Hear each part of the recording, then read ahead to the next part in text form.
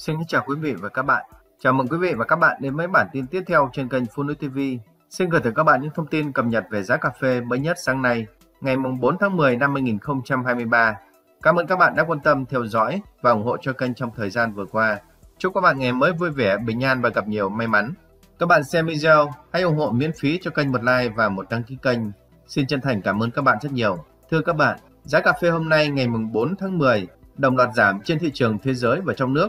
Cụ thể kết thúc phiên giao dịch sáng nay tại sàn London, giá cà phê Robusta ở kỳ hạn giao tháng 11 năm 2023 giảm đi 51 USD trên tấn với mức giảm là 2,07% xuống mức giao dịch là 2.410 USD trên tấn.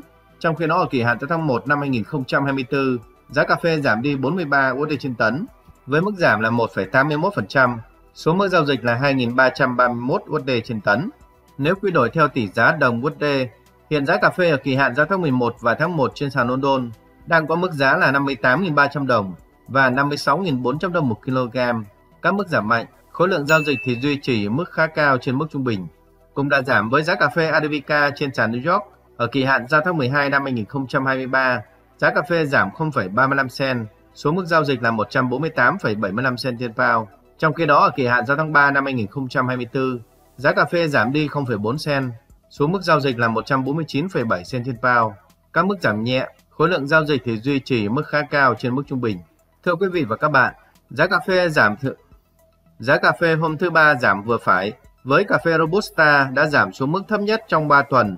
Dự báo mưa tại các vùng trồng cà phê của Brazil đã làm giảm bớt lo ngại về tình trạng khô hạn và thúc đẩy hoạt động bán cà phê kỳ hạn.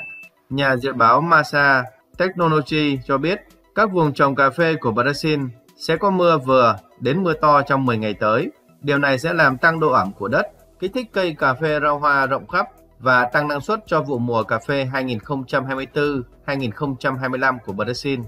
Sự suy yếu của đồng real Brazil cũng khiến cho giá cà phê giảm sâu khi đồng real của Brazil hôm thứ Ba giảm xuống mức thấp nhất trong 6 tháng so với đồng USD đã khuyến khích các nhà sản xuất cà phê Brazil bán xuất khẩu. Thưa các bạn, về tình hình giá cà phê trong nước sáng nay, khu vực các tỉnh Tây Nguyên và miền Nam, ghi nhận ở các địa phương, giá cà phê điều chỉnh giảm 700 đến 800 đồng cho 1 kg. Sáng nay giá cà phê trong nước thu mua trong khoảng 64.400 đồng tới 65.900 đồng 1 kg.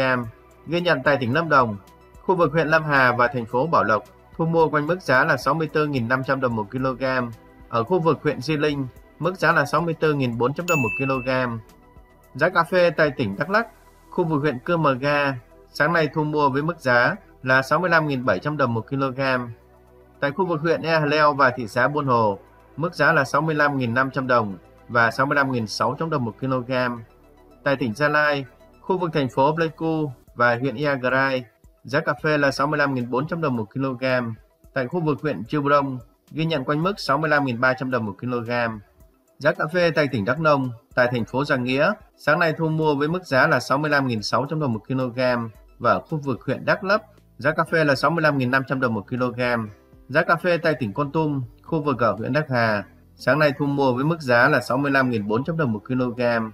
Tại tỉnh Đồng Nai, ghi nhận ở mức là 65.700 đồng một kg và tại khu vực tỉnh Bình Dương, mức giá là 65.900 đồng một kg. Đối với giá cà phê giao tới các kho quanh cảng thành phố Hồ Chí Minh, Sáng nay được thu mua quanh mức giá là 66.000 đồng một kg. Còn trên thị trường tự do, giá cà phê nhân xô được các công ty và đại lý thu mua ở các vùng nguyên liệu với mức giá là 65.800 đồng một kg. Thưa các bạn, ghi nhận ở các địa phương, giá cà phê tươi hiện nay đang được thu mua quanh mức giá là 11.000 đồng tới 12.500 đồng một kg. Xin cảm ơn quý vị và các bạn đã quan tâm theo dõi những thông tin cập nhật giá cà phê sáng nay. Chúc các bạn ngày mới vui vẻ. Xin kính chào và hẹn gặp lại các bạn trong những bản tin tiếp theo.